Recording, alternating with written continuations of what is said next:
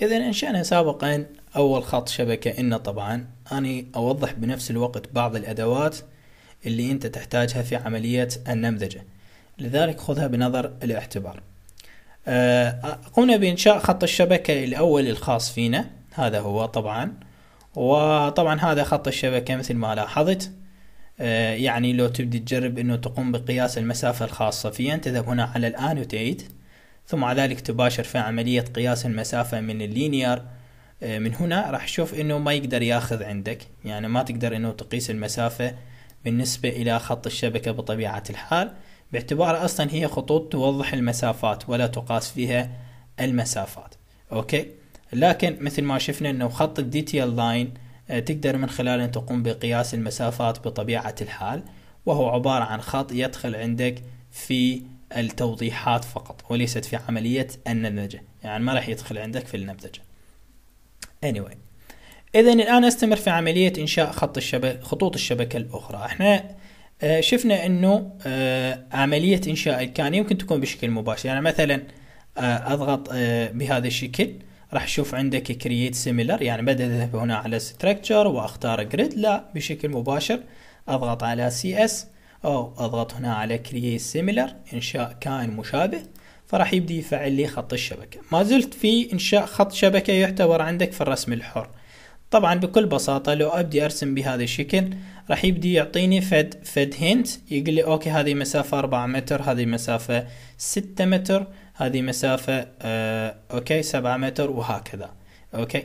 إذا ردت إنه أبدي أنقل هذا okay هذا أريد أبدي أنقله للأسفل. فكيف راح ابدي أعمل عليه move يمكن طبعا إنه تقوم بتحريكه بشكل مباشر يعني بكل بساطة تبدي تأخذ هذا ال line ثم مع ذلك تقوم بسحبه okay؟ بسحبه بهذا الشكل. أو يمكن إنه تطبق عليه آه، أمر التحريك المتعارف عليه في برنامج AutoCAD okay؟ فبكل بساطة يمكن تقوم باختيار الكائن ثم بعد ذلك تذهب على Modify وتقوم بعملية تحريك لهذا الكائن تضغط على في اختصارا لهذه العملية أو من هنا بشكل مباشر. راح طبعا يسألك عن التحريك اللي أنت راح تبدي تجريه من أي نقطة بطبيعة الحال. أقول okay أنا أبدي أحرك من هذه النقطة ثم على ذلك راح يبدي يعني يبين لك المسافة اللي أنت راح تبدي تحرك فيها إلى هذه النقطة تماما. okay؟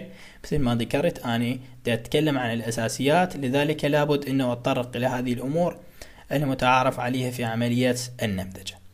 فعموما أقوم باختيار الكائن أعمل Create Similar من عنده ثم مع ذلك أباشر في عملية إنشاء كائن آخر وليكن مثلا على مسافة سبعة ستة متر من هذه النقطة ثم مع ذلك تماما بهذا الشكل حتى يبدي يأخذ بنظر الاعتبار ال Snap بهذه الصورة. okay؟ طيب. تقول okay الآن قدرت إنه أقوم بإنشاء خطين شبكة. آه لكن أني يعني هذا خط الشبكة هو okay يبتعد ستة متر عن هذا الخط. أني لا أني يبتعد سبعة متر عندي فما ما في أي مشكلة. تقدر إنه تدخل عليه بهذا الشكل وتعطيه سبعة متر فراح يبدي ياخذه بنظر الاعتبار. okay؟ راح يبدي ياخذه بنظر الاعتبار. يعني ما تحتاج إنه تحذف الكائن أو الخط وتعيد رسمه من جديد. خلينا نبدي نستمر في رسم بطريقة أخرى. يعني أبدي بعمل Create Similar لخط شبكة ولكن هذه المرة أقوم بإنشاء عن طريق إيش؟ Pick Lines أخذ Pick Lines بهذا الشكل ثم مع ذلك أعطيه سبعة متر. okay باعتبار إنه إحنا في المتر أكتب له سبعة. أو إذا كنت غير متأكد من المسافات اكتب له m يعني ال units الخاص فيك راح يبدي يتعرف عليه إنه هذا okay سبعة متر. okay. ثم بعد ذلك لو تلاحظ فقط أضع عليه مؤشر الماوس راح تلاحظ إنه ينشي لك خط الشبكة الثالث وهذا خط الشبكة الرابع وهذا خط الشبكة الخامس وهذا السادس. أوكي؟ وهكذا. طبعا الآن مثل ما تلاحظ تجاوزت خطوط الشبكة وأصبحت عندي هذه الايقونة هي متجاوزة فكيف راح أبدي؟ بكل بساطة أبدي أسحب هذه الايقونة بهذه الصورة. يعني أبدي أحددها أول شيء ويمكن أعمل عليها موف أعتبرها كائن وأعمل عليها موف بشكل احتياطي وأبدي بتحريكها بهذا الشكل. واضعها هنا. okay؟ تمام. نفس الكلام طبعا على هذه. يمكن انه أقوم بسحبها أعمل عليها move بهذه الصيغة. يعني نتعامل طبعا مع هذه الأدوات مع كل الكائنات. اللي متواجدة عندنا بطبيعة الحال. okay. جيد. فنستمر في رسم خط الشبكة اللي تكون عندك في الاتجاه ال X قل create similar ثم مع ذلك راح أبدي أنشئها من هذه النقطة. أوكي. ولازم تتجاوز عندك فد نقطة معينة بطبيعة الحال. يعني لازم تكون عندك بهذا الشكل. تمام. بهذه الصورة. وبنفس الوقت أستطيع أن أقوم بسحبها أيضا من هذا الاتجاه. يعني أسحبها لتكون عندك بهذا الشكل. جيد. آه، أيضا لازم ما تكون عندك يعني آه، بالنهاية. إما أن تسحب هذه الأطراف بشكل كامل أو تقوم ب يعني آه، سحب هذه خط الشبكة. okay؟ فأعمل عليه move من هذه النقطة تماما ثم مع ذلك أبدأ أعمل عليه move ليكون عندك على متر ونصف. okay؟ طيب.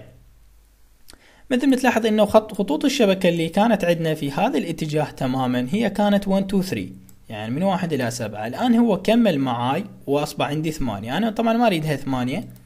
أريد ان هذه الخطوط تكون عندك في ال A فأقوم بتغيير الاسم الخاص فيها إلى A okay؟ طبعا هذه إذا أردت إنه تقول okay اني هذه ال bubble هذه لها خصائص. فاني أريد أغير خصائص هذه ال bubble بما يناسبني. فاستطيع أن أقوم باختيار خط الشبكة ثم مع ذلك أقوم اذهب هنا على ال Edit Type. وراح تلاحظ إنه هذا ال symbol اللي هو ال symbol الاختصار حاليا هو circle فتقدر إنه تلغيه أصلا بشكل كامل نقول له هنا No bubble أو تقوم بتغيير الخصائص الخاص فيه بما يتناسب معك بطبيعة الحال. okay؟ طيب إحنا الآن الاسم آه الاسم طبعا آه غيرناه. إلى A فراح أبدي أستمر أعمل Create Similar وأعمل Pick Line بمسافة سبعة متر أكتب له سبعة متر أقول له Enter وبعد ذلك راح تلاحظه إنه لما تقوم بإنشاء Pick Line بهذا الاتجاه يعني متخلي مؤشر الماوس بهذا الاتجاه فينشي لك في الاتجاه الأيسر لما تخليه بهذا الاتجاه ينشي لك في الاتجاه الأيمن. okay؟ نقرأ واحدة بهذا الشكل أنشأ لك مثل ما تلاحظ تعرف علي أنت A أصبح عندك B. اذا أبدي أستمر. عندي C. ثم ذلك D E و F. okay؟ عندك مسافات أخرى؟ كما في أي مشكلة يمكن تقوم بالاستمرار في عمل المسافات الأخرى بما يتناسب مع عملك بطبيعة الحال. okay؟ طيب مثل ما ذكرنا إنه هذه هذه بالنسبة لهذه الإيقونات فأنت لك الحرية في عملية وضعها في الإيش؟ في الجزئيات اللي أنت تلاحظها. طبعا حتى تتأكد إنه أنت شاهد المشروع الخاص فيك في الاليفيشن لازم تكون مبتعدة بطبيعة الحال. ولما تضغط عليها بهذا الشكل داير يوضح لك. جيد. الآن تقريبا وضحت عندنا فكرة إنشاء خطوط الشبكة ولكن نحتاج إلى أيضا إلى آه، درس آخر نوضح فيه إنشاء خطوط الشبكة. والخاصة في الآرك يعني لمن تريد أنه تنشئ خط شبكة يحتوي لك على أقواس وأيضا التفاصيل الأخرى.